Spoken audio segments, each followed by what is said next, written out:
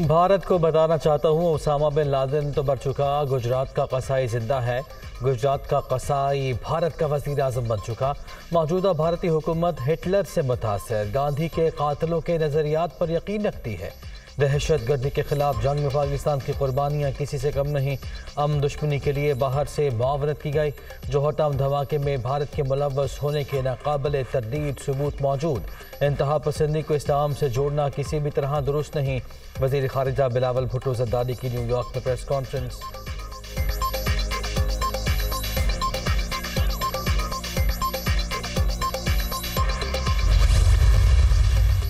वज़ीर खारजा बिलावल भुट्टो जरदारी की न्यूयॉर्क में सेक्रेटरी जनरल अखबार में मुतहद से मुलाकात। अंतोनियो गुतरेस से दो तरफा और आलमी अमूर पर तबादला ख्याल। वज़ीर खारजा दौरे अमरीका के अगले मरहले में पीर को तीन रोज़ा दौरे पर वाशिंगटन पहुँचेंगे।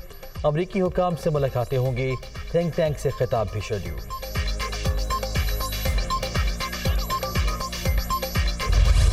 लाइट डीजल ऑयल, इसको दस रुपए की कमी करके फ़ी लीटर एक सौ उनहत्तर रुपए की जा रही है। पेट्रोल में दस रुपए की कमी करके फ़ी लीटर दो सौ चौदह रुपए अस्सी पैसे हुई है। हाई स्पीड डीजल जो था सात रुपए पचास पैसे की कमी करके फ़ी लीटर दो सौ सत्ताईस रुपए अस्सी पैसे पे आ, आ गई है। मिट्टी का तेल या कैरोसिन ऑयल है दस रुपए कमी के साथ एक सौ इकहत्तर रुपए तिरासी पैसे। इसकी नई कीमत जो है मुकर हुई है। महँगाई के मारे आवाम को ज़रूरत से रिलीफ, पेट्रोल दस रुपये सस्ता दो सौ चौदह रुपये अस्सी पैसे लीटर में फरोख्त होगा। हाई स्पीड डीजल के रेट साढ़े सात रुपये कम होकर दो सौ सत्ताईस रुपये अस्सी पैसे हो गए। मिट्टी के तेल की कीमत दस रुपये कमी के बाद एक सौ इकहत्तर रुपये तिरासी पैसे मुकर लाए डीजल भी दस रुपये सस्ता। वज़ीर खजाना के ऐलान के बाद पेट्रोलियम मसनूआत की नई कीमतों का इतलाक हो गया।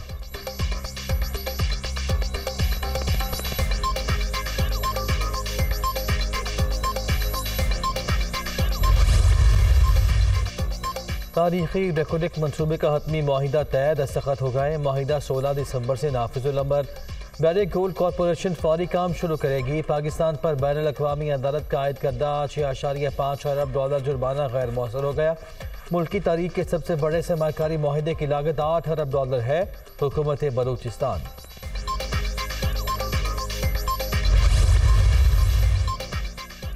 तरीके इंसाफ के लॉन्ग मार्च में फारे का मामला।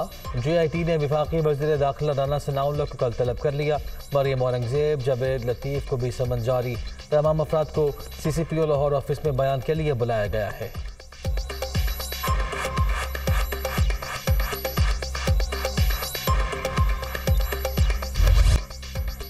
मेरे बच्चों की शहादत ये गवाही देगी। हमने शारक का लहू दे के निखारे हैं नजूम।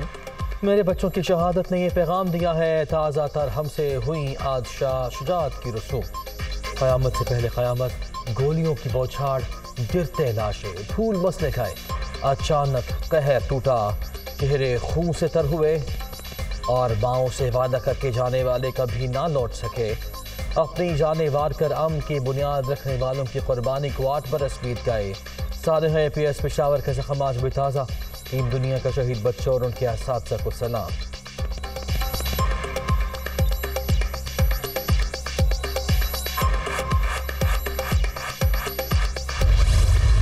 हमने अपने इस्तीफे उस वक़्त के जो हमारे डिप्टी स्पीकर थे, कासिम सूरी साहब, उनको पेश कर दिए।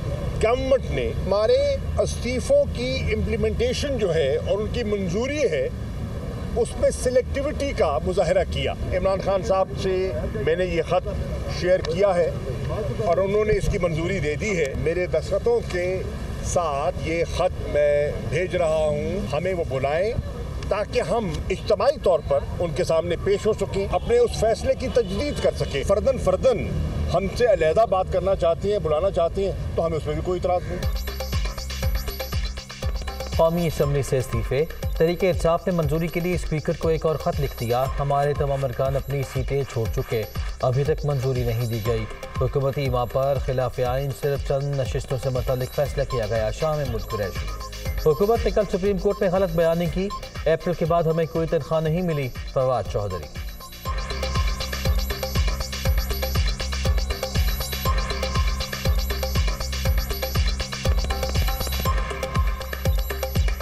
के बाद से तरीके इंसाफ के किसी रुकन को तनख्वाह नहीं मिली है। और अब मुझे शक हो गया अलबत् ये तो नहीं कि हमारे नाम पर तनख्वाहें निकाल के खुद खा गए हों। क्योंकि हुकूमत में भी तो सारे सारे महाकलाकार बैठे हुए हैं। हम तो तमाम नशस्तों से इस्तीफे दे चुके हैं, लिहाजा हम कहते हैं उनको फौरी तौर पर माना जाए और उनके ऊपर इलेक्शन करवाए जाए। बुनियादी मकसद इनका सिर्फ़ यह है कि अपने केसेस ख़त्म कराना। तोशा खान रेफरेंस में इमरान खान के खिलाफ फौजदारी कार्रवाई की दरख्वास्त काबिल समात करार। इस्लामाबाद की सेशन अदालत ने इलेक्शन कमीशन की सदा पर फैसला महफूज कर लिया। पी टी ए चेयरमैन की नौ जनवरी को जाती हैसियत में तलबी।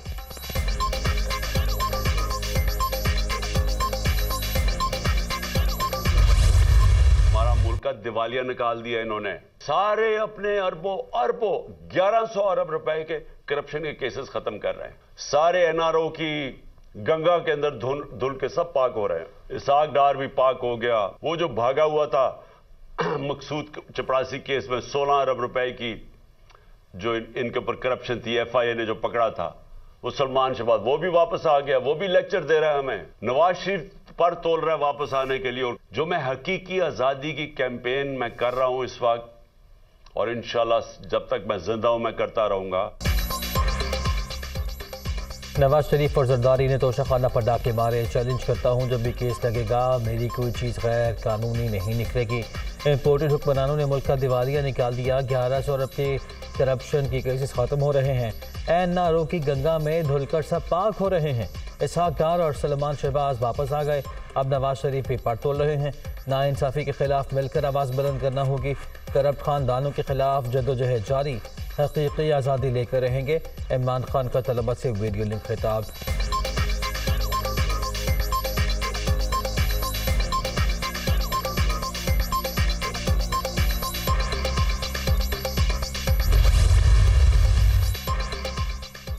इमरान खान जहनी मरीज़ हैं। पंजाब हुकूमत के ज़रिए तलीमी इदारों को सियासी खड़ा बनाया जा रहा है। बच्चों को सियासत में घसीटने का सिलसिला बंद किया जाए। पी टी ए चेयरमैन को अपनी चोरियों का हिसाब देना होगा।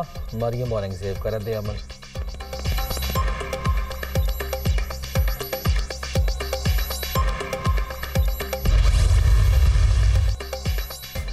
इमरान न्याजी पार्लिमानी निज़ाम और जमहूरियत पर हमले की तैयारी में मशरूफ, हर मजमूम साजिश नाकाम बना देंगे। खबरदार करते हैं पी टी ए चेयरमैन मीशत दुश्मन एजेंडे से बाज रहें नाना सनाउल्ला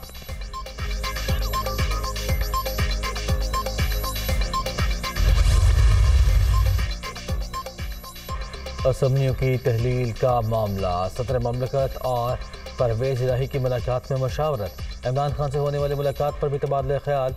वजारत आला कप्तान की अमानत है, जब कहेंगे वापस लौटा देंगे। ना अहल टोला सिर्फ़ अपनी सियासत बचाने में लगा हुआ है, परवेज इलाही। आम इंतबात के लिए हुकूमत पर दबाव बढ़ाने की कोशिशें। तरीके इंसाफ की इलेक्शन के अलावा मुल्क बचा मुहिम जारी। लाहौर, कराची और दीगर शहरों में रैलियाँ, अरकान पार्लियामेंट अहम कारकुनान और रहनुमाओं की भरपूर शिरकत।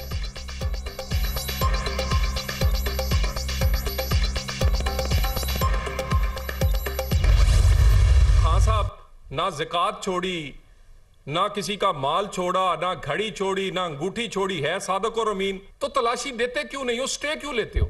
फॉरेन फंडिंग में स्टे। साइफर में स्टे पाकिस्तान में बासठ तिरसठ असल अंदाज में नफाज उसका होकर रहेगा।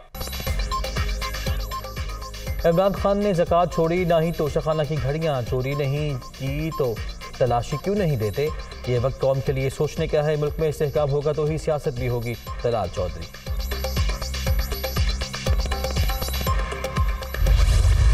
इमरान खान साहब ने जो बैरून मुल्क से तहाइफ मिले उसमें से कुछ तहाइफ उन्होंने कानून के मुताबिक कीमत अदा करके जो है वो हासिल किए। इमरान खान साहब का मुआजना करें आसिफ अली जरदारी जब सदर थे, तोशा खाना से B M W Asif Ali Zardari लेके गए, नवाज़ शरीफ मर्सडीज लेके चले गए तोशा खाना से। वो लोग जो 40 साल तीन तीन बार इकतदार के अंदर रहे, वो अब इमरान खान के ऊपर घटिया बेबुनियाद मुहिम चला रहे हैं।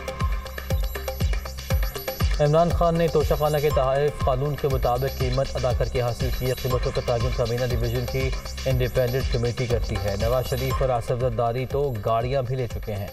करप्शन पर मुकदमात का सामना करने वाले पी टी आई चेयरमैन के खिलाफ मुहिम चला रहे हैं। फरुख हबीब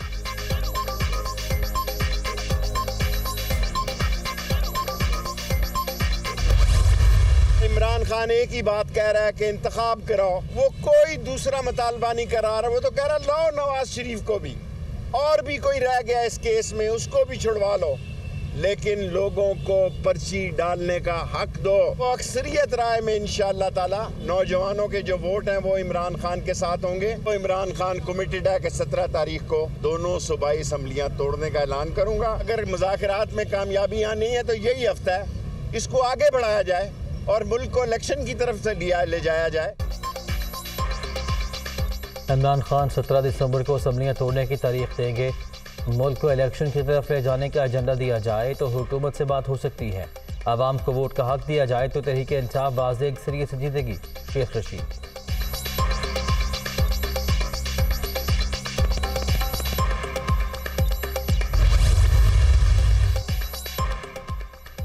इस्लामाबाद में capital university of science and technology के कन्वोकेशन नौ सौ अठासी तलबा तलबात ने डिग्रियाँ हासिल की।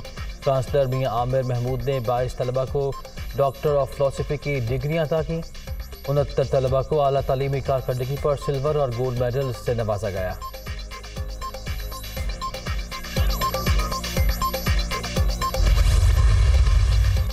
अरशद शरीफ कतल केस की तहकीकत, खसूसी जे आई टी का पाँचवा अजलास मकतूल का पोस्टमार्टम करने वाली टीम से मुलाकात। डॉक्टर्स के बयान कलम बंद कीनिया से मिलने वाले सामान के लिए फैक्ट फाइंडिंग कमेटी को खत इरसाल